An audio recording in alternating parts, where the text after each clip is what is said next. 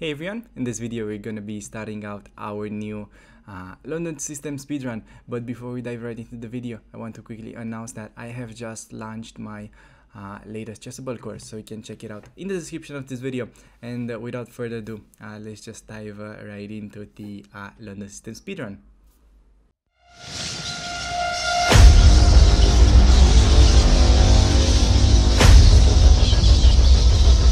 Let's go for it. Uh, he plays d5 and we're gonna go for the second move, bishop to f4. Could also start knight f3, but uh, maybe we can get in some gambits after c5, e4. Here we get knight f6, I'm gonna be playing e3.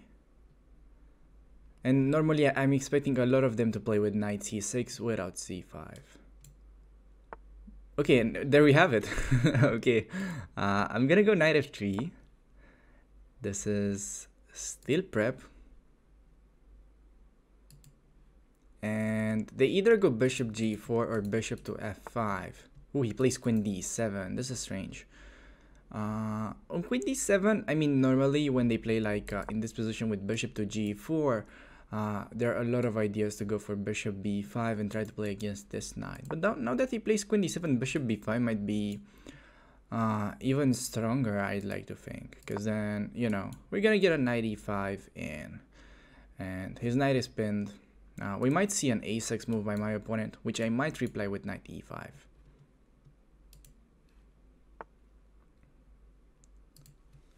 Oh, he goes queen g4. Uh, well, this is definitely not something that I was expecting. He's trying to take this pawn. Uh, it doesn't really bother me all that much. I guess uh, we could simply castle. I think I'm gonna do that. I mean, just trying to keep it like very simple. And yeah, I mean, ideas of going 95 are still there and might also include in some kind of c4 uh, type of moves. And then if he takes some queen maybe coming into a4 please bishop to d7 that is very reasonable move. Uh, breaking this uh, this pin but um, I guess we'll simply collect that pawn on c7 because it's sort of hanging. And yeah now we are pretty much a material. Uh, if he goes rook c8 I think I'm dropping my bishop all the way to g3 and in case of, of a6 I might not even give up the bishop. I might just go back to e2 uh, keeping my uh, my bishop there. He plays knight e4 which I don't really like because he's moving the same piece twice in the opening. And now I would like to go knight c3 but that's ruining my pawn structure.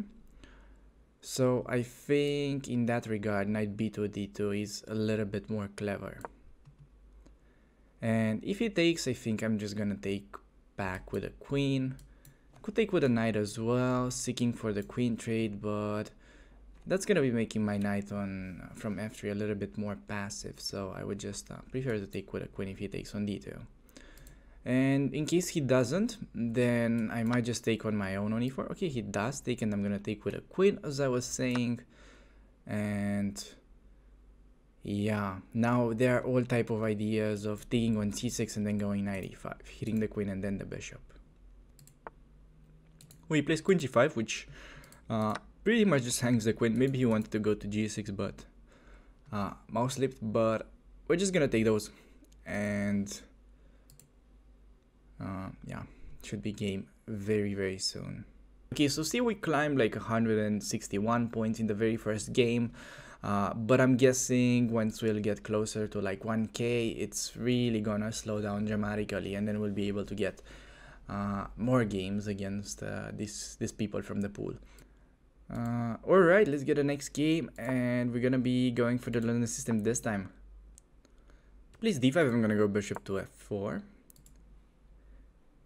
Uh, my main account is usually between uh, 2550 and uh, and 2600. I mean, I picked at like 27, but yeah, I mean, I'm I'm mostly a casual player. I don't really try hard on chess.com. Uh, bishop f5, and I'm gonna be playing knight f3. This is interesting when they are delaying knight f6. Oh, I've actually covered this. This is funny. I think you face this quite a lot in lower ratings uh, when black is going for this. And you could play knight h3. That's like the easy way to deal with this issue. But even better is to give this check. And now he's gonna play c6 and I'm gonna defend it with the bishop. And now we're doing very well. He's trying a5, and I'm just gonna be playing a4. And his initiative is kind of over. We have pawn takes on a4. I'm just gonna take with a bishop, keeping an eye on c6. And this, I think it's really a good opportunity to play knight e5, hitting queen and the pawn. Plays queen e6. Uh, I think we can just develop, or we can play c3, which might be even better at this moment. Because knight d3 is covered. Uh, this is a mistake that actually quite a lot of people do. They play c3 in this position, allowing this check on d3, but that's actually like covered because my knight was on e5. I think this was like an instructive mistake because he forgot that my knight covers it. And now I'm just up of 3 piece basically and have a very easily winning position. Okay, I'm just gonna play knight e2. Yep, g6 and I'm just gonna castle. Or I could look to like open up the position. Uh, at this point it doesn't really matter since we are up a piece. Uh, I'm just going to castle, I guess trying to keep it simple. And uh, yeah, also might be looking for to get like knight b3 into c5. Uh, I don't really know why he's playing this slow. I'm gonna go bishop e5. Idea to take and then open it up with e4. Yeah, just gonna do that. And gonna go e4 next, no matter what he takes with. Gonna take with a knight once again. Uh, he does not take and I can play e5 and f4. I'm just gonna be playing rook fe1 though. Am I related? Uh, not really like directly, but we've known each other for quite some time. And we are both Romanian, which I guess you can say we are related. But other than that, no, not really. Uh, okay, take some b3. I'm gonna take with a knight. Okay, so we have an interesting question uh, in the chat if I'm uh, planning to become uh, a GM.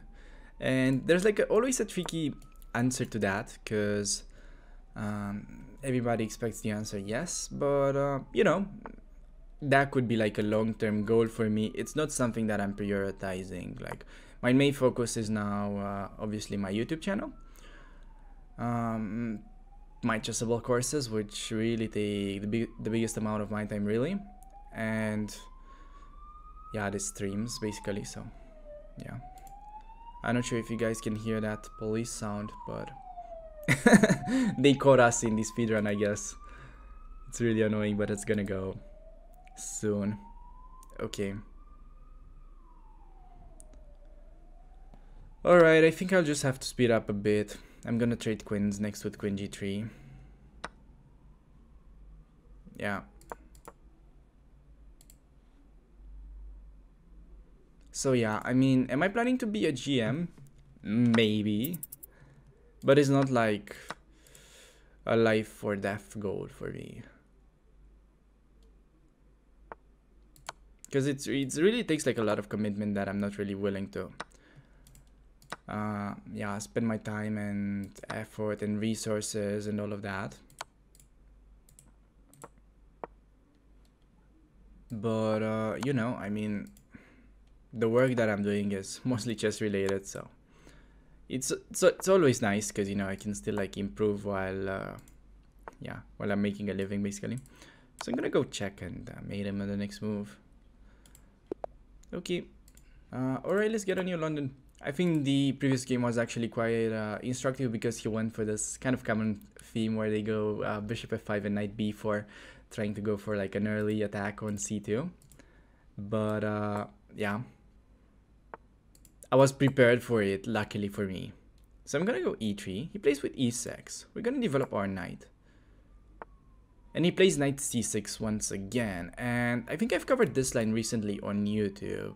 When I was saying bishop b5 does not work that well. And I'm gonna go knight d2 this time. Uh, it doesn't work that well because he could just defend the knight with this.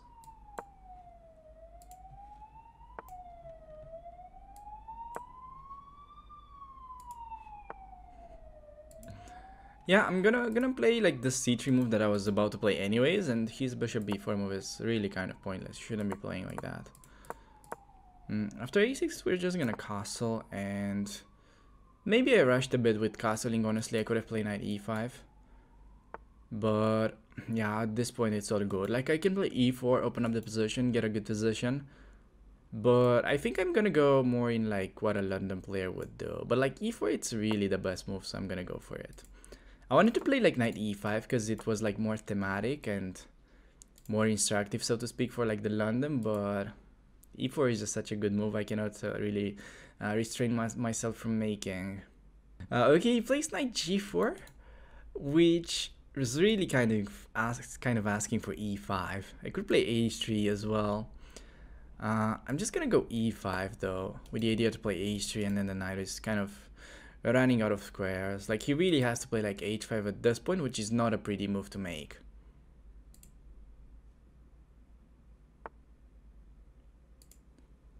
Uh, g5, uh, I'm gonna play bishop to g3 because there's no really uh, other move. Uh, I had my own Twitch channel, but um, yeah, I mean, most of the streams are gonna be on this channel so yeah i'm not really gonna be using it. Uh, the only content that i do will be uh, here and at least in like the near future and on youtube so that's pretty much it. Okay he takes with the queen. I also by the way uh, thought about taking on g5 hitting the knight but i thought just taking playing a positional should be better. And now you see that the problem of the knight on g4 really remains and we can just play h3 and his knight on g4 is now running out of squares so uh, as simple as that, we just want a piece. I think you should try something like h5, you know, giving up the knight, but trying to open up the file for the rook, but we can just take and play knight h2, because there's no attack really on the h file. Like, it usually is, but not with such a bishop on g3. Okay, he decides to at least uh, win a pawn for the knight, which is reasonable, but uh, I'm gonna get knight e5 in, and yeah, this is just completely winning. Notice how this bishop on a5 is really out of play. Gonna take. Queen is under attack. Uh, I can take queen, which is really good. Could also take this, but I'm just gonna take his queen. I'm gonna go queen e2 and win back the knight. I could also look for ways to checkmate him, but I think we're gonna try to keep it as simple as we can in general. Okay, king d7, that is actually really asking to be mated. Really, really asking to be mated. Gonna take this knight though. He's really asking for it, but I'm just gonna take the knight. Uh, he goes rook e8. Uh, I think I'm just gonna be bringing the rook or the knight. Gonna get my knight to e5. Yeah, I'm gonna play it. If king c7, yeah, I, I had like many ideas, but here's a nice checkmate with queen h7 and queen f7 once he will take the rook. This is gonna be a mate. Okay, uh, wait, I wanted to go for like d4, but that game got aborted. Ooh, we face the Englund gambit. Let's take on e5. He plays d6, and I'm just gonna develop my knight.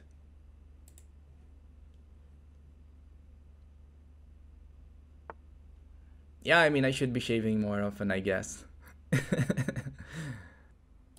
I don't really play over the board.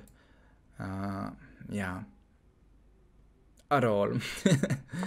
Uh, I'm just gonna defend the pawn. Like I can take on d6 anytime. It's like really fine, but I just need to like develop. It's just better.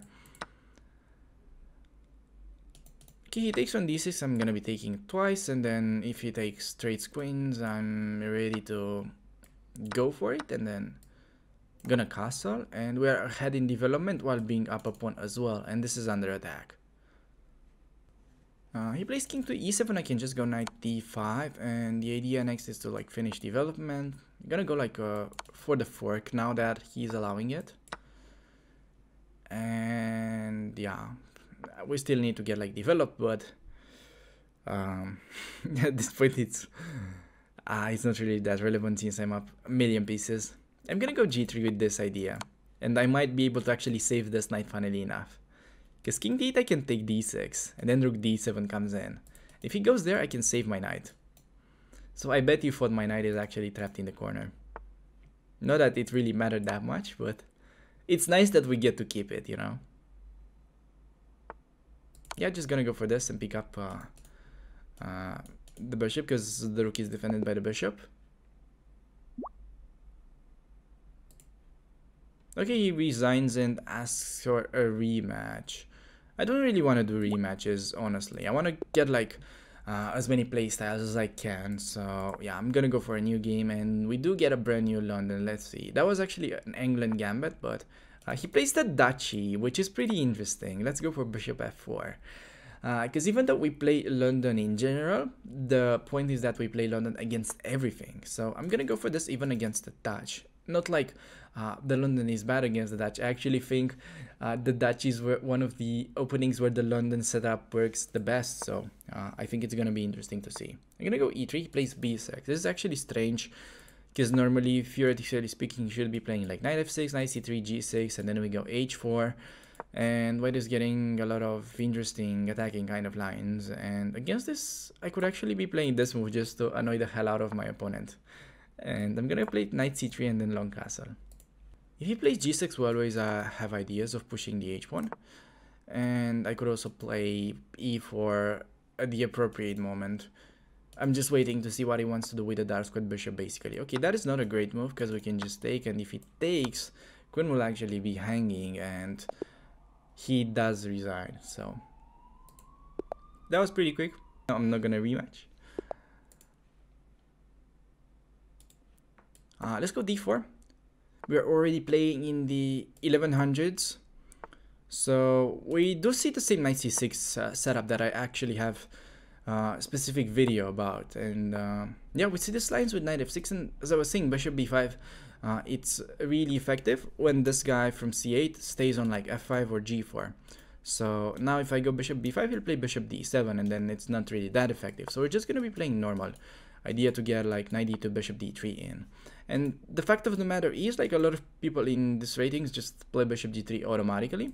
And we're just gonna allow him to take on f4, in fact. Because that's really a pleasant situation for us. Just look at the bishop difference. The bishop on f1 uh, versus this guy. And I meant this guy with like red arrow. They're gonna get 93, bishop d3 like 95 It's just really easy to play for me. If he castles long, uh, I mean, I'm, we're just gonna start the attack. While you know his attack is gonna be way slower on the other side. And this is actually like a very bad move to make because it's just gonna speed up uh, my attack when in fact he thought he's gonna slow it down. Because now b5 will actually come up with the opening up of the a file. So now white is actually just uh, crashing I think white was better anyways that but now the advantage is really increasing uh, quite quickly and dramatically in the same time. So I'm gonna go knight e5 just because he cannot take us that will be a fork and I'm also hitting the f7 pawn. So now he really has a very uncomfortable position because b5 is gonna come on the next move as well, putting even more pressure on the c6 knight. And he plays queen f8 but now the same b5 move is okay. And he takes it now I get to take the knight but the pawn on a6 remains under attack And he has to lose something. Uh, yeah, I mean, we can take here and then take this, but i am just gonna take twice. Like, this is, should be like really cleanest. Or actually, there's like a funny tactic because we might queen. If he takes my bishop, I'm going to queen. This is hilarious. And now we actually get to queen. Look at the pawn. Look at the pawn. The MVP pawn. Look at my pawn. we got a new queen. Queen a5. b6 just gonna play queen b4. We can trade queens because I'm gonna have another queen on the board. this is hilarious. That was actually like a really funny point. Okay, we got a win. Uh, I think again, like that was a very cute tactic. Like, uh, honestly speaking, anything was winning at this point. Like, I was initially thinking take one e4 with a winning position, but yeah, I mean, that was just like a cute idea to temporarily give up the bishop because now the pawn is unstoppable. Look at this pawn, guys. I mean, how often do you see a pawn promoting uh, in the first 20 moves? I think that was pretty funny. and Uh, yeah, I mean, also, like, remember this idea that, that I said a little bit earlier uh, while playing this London, because everyone plays bishop g3 hoping that the opponent takes on g3, and when they don't, you just end up with, like, a passive bishop on g3, or, mm, I, I don't really mean to say passive, but it's, like, a little bit misplaced. So, yeah, just allowing the bishop to stay there, getting this structure, just look at the bishop, how nicely it's really activated, and how passive this guy on d7 really is. And yeah, we can castle, go queen e2, g3, normally black castle short as well, we get knight e5 and it's just uh, really pleasant to play for white. So uh, yeah, I'm gonna go for the next game and looks like we get white pieces again. Uh, gonna go bishop f4 and we do get a little bit of a dodgy setup. Uh, I could play e4 try to punish him, but I'm just gonna be playing it uh, kind of slow, like kind of London thematical let's say, just gonna go knight d2 with the same idea if he takes, and he just drops the bishop back to e7, which is really strange. He goes for f5, and mm, yeah, I think I'm just, I could like create a square. Uh, I could really create a square. I could play knight e5, idea to play queen h5. He does develop, which was really expected, and I could try to open up the position quickly with g4. But I think I'll actually play h3 first, just waiting for him to castle. Because if I was playing g4 immediately, I think there are good chances that he might have got scared and wouldn't have castled. So I really wanted him to castle short, but uh, he plays this knight e4 move, which I think is decent. But I think can just maybe play f3 or take on f5, open up the g file. I think that's like the most logical thing to do. And if pawn takes then mm, hmm, I'm actually like not so sure about this, like what I did, because there might be this move coming in. I kind of want to play queen h5. I think I'm gonna start with rook g1. And if he does go for this, I'm just gonna take on e4 with like the bishop I'm thinking. Could take with a knight, but I mean just bishop should be fine. And then I want my queen to come into like h5. Yeah. I think this is okay. This is a bit of a weird game though. But if I somehow like manage to castle and take on g7, should be made.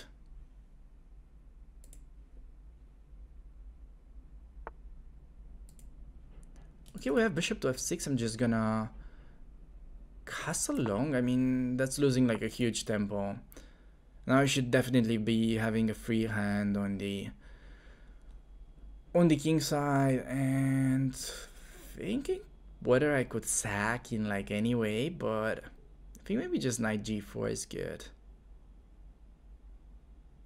Like I can do so many things in this position is a little bit uh strange that I cannot really decide, but I'm gonna play it this way with this and this.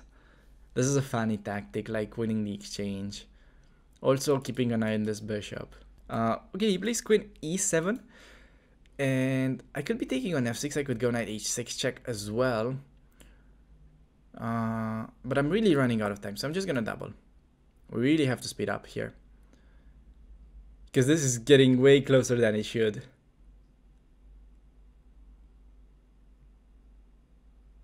But this guy's playing incredibly well so far. Okay, knight h6 is actually was blundered by my opponent, and now we get to just win on the spot. I mean, he played like well after he played the super dubious opening. That's what I'm trying to say. Uh, he found like some decent decent moves, but uh, now I should be in the driver's seat. And rook g7 might be a huge threat. Just winning the queen next. Might go for it anyways, but I'm just gonna keep it simple. He can take on f2. Shouldn't really bother us. Uh, gonna do it this way, not allowing queen f2 anymore. And then rook g7. Rook g7, pinning.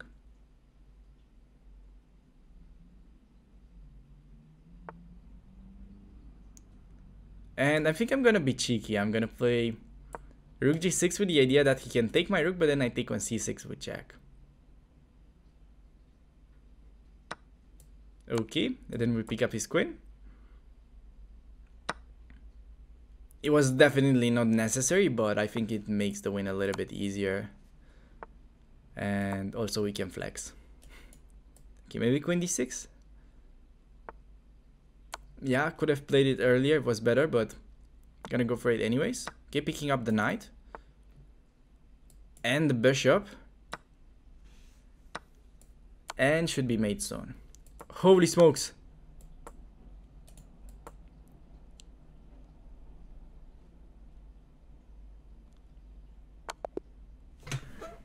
All right, we got a the mate with 0.4 seconds. Let's go. I had a feeling like here it was really kind of a gamble thing because uh, he could either go there or there. But I knew this looks too obvious to be a mate and he'll try it there. But okay, I had to like pre-move this. That was like the best guess. Oh my god. it should never really get this close. Okay, let's go d4 and then second move bishop f4. And he plays d5, I'm gonna go e3. He still plays with 96, so we see that in like 1100 ratings.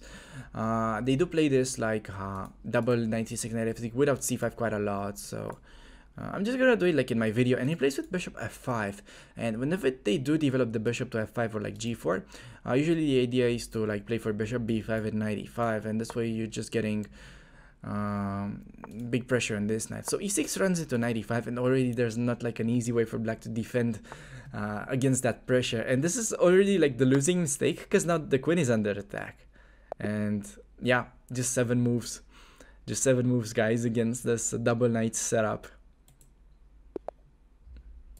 Okay, let's go for the new game.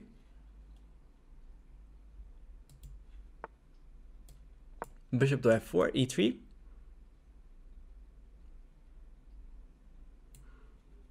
Come on, opponent, make a move. Okay, he plays bishop g4. Funny guy. If I play e3, he takes my queen. Uh, how do we deal with those? this is a good one. Um, just gonna play knight f3.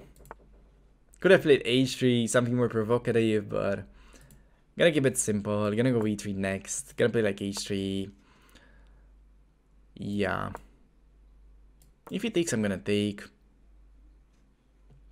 uh, back on f3 and taking on f4 can be met by pawn takes. Yeah, just gonna play like knight d2. If he takes on f4, he is my guest, but not really worried about entering that structure, although it is not as pleasant as it was before, because this bishop got active, but, you know, it wasn't really that big of an alternative at that point plays the same knight c6. If I go bishop b5, he might just play knight e7 because the knight is still on, on g8. So this is something that you want to watch out while playing these lines because when the knight is on f6, then the bishop on b5 is uh, could be potentially very strong. Just gonna play with play it simple with like c3.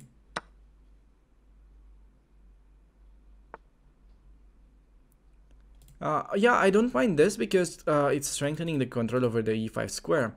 It usually like makes it also much harder for black to uh, to break and we can play like bishop d3 queen e2 castles okay he plays bishop there. Uh, but but generally it's just that we get a knight on e5 eh, which is really unpleasant for our opponent to deal with. Maybe queen b3 is an annoying move now. Hitting this pawn he does castle so I think that was definitely a success because I believe the king is pretty vulnerable on that side. Gonna go bishop b5. not sure I love this move, but maybe we can take and then go 95.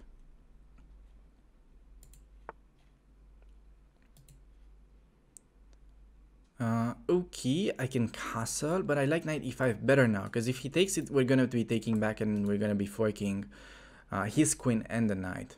So the knight on e5 is actually a monster now. He plays knight a4, I'm just gonna uh, attack it. If he plays b6, that might turn out to be an additional weakness, and we might even play b4 next. Yeah, just gonna go b4, hitting the knight. If he goes to d to b7 and a7 and hanging, with a mate frat on a8 actually. He goes to c6, but we can just collect, and then queen a6, queen b7 mate. So that should be GG.